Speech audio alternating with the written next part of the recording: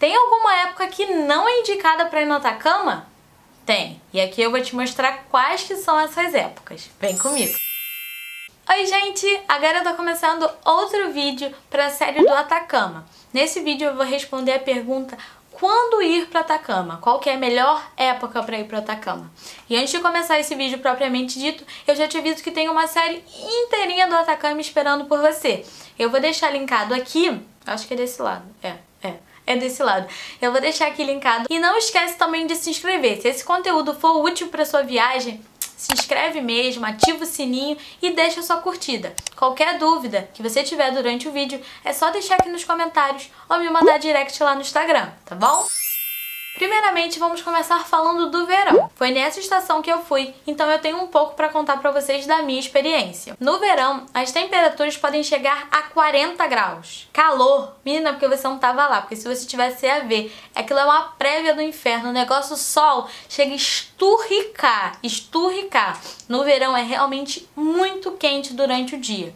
Em qualquer estação que você for, você vai reparar que no começo do dia e no final do dia dá uma esfriada. No verão, no meio do dia, aquilo vira assim um maçarico. Parece que estão assim, ó, brincando com a terra, ó, botando maçarico. Porque é muito quente, muito quente mesmo. Ah, Juliana, mas eu não ligo pra calor, eu gosto mesmo, eu gosto de me sentir esturricadinha. Então, o único probleminha da estação verão, principalmente o mês de fevereiro, principalmente, mas não só, principalmente o mês de fevereiro, são as chuvas. Tem alguns anos que acontece um fenômeno chamado inverno altiplânico. Aí você vai virar para mim e falar, mas Juliana, é só chuva, qual que é o problema da chuva? Então, o problema é quando chove demais. Tiveram pessoas nesse ano de 2019 que foram para Atacama numa época crítica de chuva e não conseguiram fazer passeio nenhum, porque todos, todos estavam fechados. Porque às vezes o próprio atrativo mesmo está com algum problema por causa da grande quantidade de chuvas,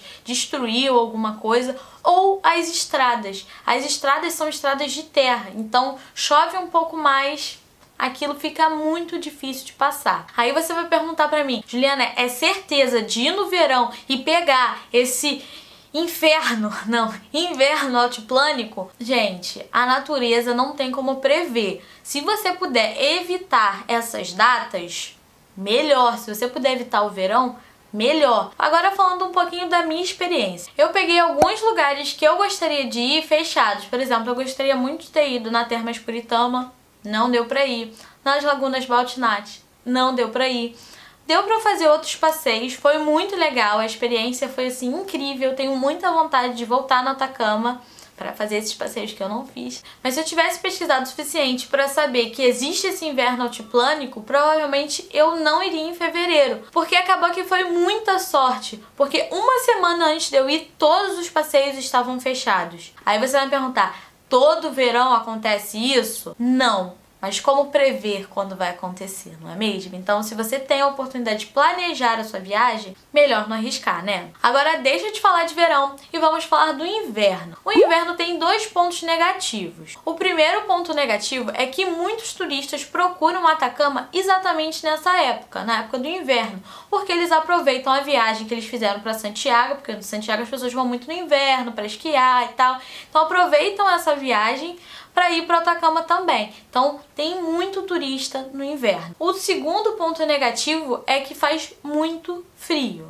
Muito frio mesmo. Como eu já disse lá quando eu estava falando do verão, no começo e no fim do dia faz frio, mas no inverno faz frio muito frio, muito frio mesmo. As temperaturas podem chegar abaixo de zero. Por exemplo, nos geysers, que são os lugares que já são altos e a gente vai bem de manhãzinha visitar, você pode pegar temperaturas abaixo de 15. 15 graus abaixo de zero, você tem noção disso? Ah, Juliana, mas eu gosto de frio, pra mim vai ser ótimo. Tá bom, mas só fica ligada nessa próxima observação que eu vou fazer. No inverno existe a possibilidade, eu repito, a possibilidade. Pode ser que isso aconteça, mas pode ser que também não aconteça. Existe a possibilidade da neve obstruir o caminho. E aí, como é que você chega ao passeio? Então, se a neve obstruir o caminho, adeus passeio. Uma outra observação também do frio é que com frio fica horrível, né? Porque a gente é frio de verdade. Imagina com muito frio você entrar numa laguna. Seja sincero com você mesmo. Você vai querer tirar o seu casaco, aquele calorzinho gostoso que tá para abrir seu peitoral no meio do frio, para pular numa água gelada. Olha, sinceramente, eu acho que você vai querer só olhar. No máximo, você vai querer chegar assim perto. E querendo ou não, é uma experiência muito legal você entrar nas lagunas. Tem uma laguna que você não consegue afundar, então você fica boiando. Então são experiências muito legais que você também acaba perdendo. Ah, Juliana, mas eu não vou nem ligar pro frio, vou entrar assim mesmo. Você está certíssima. Primeiro ponto é que você está certíssimo. Você vai no inverno, mesmo congelando, você entra, você é dos meus. É isso aí. Mas o problema é que quando você chega lá, realmente dá uma desanimada. Eu fui no verão e nos Orros de Salar eu fui a única pessoa que pulei. Gente estava no verão, para vocês entenderem que mesmo no verão, como já estava um pouco mais tarde, já estava ficando um pouco frio. Então muitas pessoas não pularam, quer dizer, nenhuma, só eu. Então você imagina no inverno, aquilo no inverno deve ser o terror, gente. Então para você que gosta de entrar na laguna, gosta de entrar na água, não dê preferência para essa estação, tá bom? Então, recapitulando, até agora nós falamos de duas estações, certo? Verão primeiro depois falamos do inverno. Agora eu vou falar junto da primavera e do outono. A primavera e o outono são as estações mais indicadas. Por quê? Porque as temperaturas não estão tão elevadas, mas também não estão tão baixas. Como eu já disse, no comecinho do dia e no final do dia faz um pouco de frio, mas não é tão frio quanto no inverno. E no meio do dia não é tão calor quanto o verão. São estações que a probabilidade de acontecer algum fenômeno que atrapalhe o seu passeio é bem pequena. Pode ser que aconteça? Pode ser, a gente não tem como prever a natureza, mas a probabilidade é menor. Uma observação é que em setembro e às vezes até em outubro acontece o que eles chamam de tempestade de areia. Isso quer dizer, oh, imagina muita areia voando pelo deserto. O que o deserto tem é areia. Aí imagina aquela areia, uma tempestade de areia não é muito agradável. independente do mês que você for, já vai sabendo que você está indo para o deserto mais árido do mundo. É muito seco. Então você precisa tomar alguns cuidados para você não ficar todo ressecado. A primeira coisa é o seu corpo por dentro. Gente, beba muita água, muita água mesmo, porque tem altitude. Eu vou fazer um outro vídeo aqui para explicar isso, como você pode lidar melhor com a altitude. Quando ele estiver pronto, eu deixo ele linkado aqui, tá bom? Mas antes disso, eu já vou te falar beba muita água. Principalmente porque lá é muito seco e porque tem muitos passeios com altitude de 4 mil metros. Então, não é brincadeira. Além de se hidratar bebendo água, você precisa levar hidratante de pele, protetor solar, protetor labial. Outra coisa que pouca gente pensa, mas que é super importante, o nariz fica muito ressecado.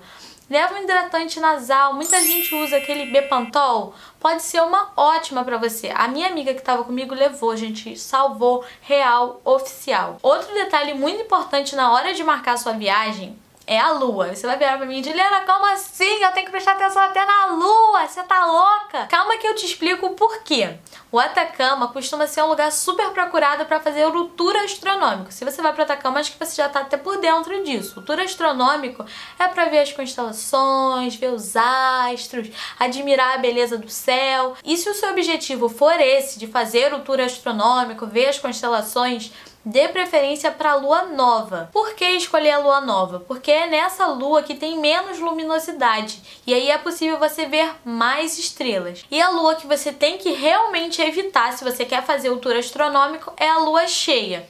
Obviamente a lua cheia tem os seus encantos, mas aí você vai ter que escolher entre o tour astronômico ou ir no deserto com a lua cheia. Acabou que eu não fiz esse tour astronômico, eu vou contar pra vocês o porquê nesse vídeo aqui quando eu estiver falando de passeios, mas dizem que é muito legal. Não sei se vocês já perceberam, né? Vou deixar metade dos vídeos do canal linkados aqui.